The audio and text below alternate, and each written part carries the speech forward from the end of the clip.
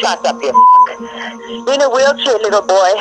You can't do anything with yourself. You can't pee yourself. I don't need you in my life. You're such a low-life asshole.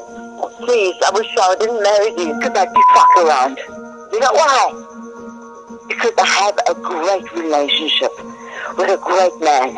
And you know what? You don't need to know about it because I can't ride you like a horse and feed you like a horse and then poop you out like a baby.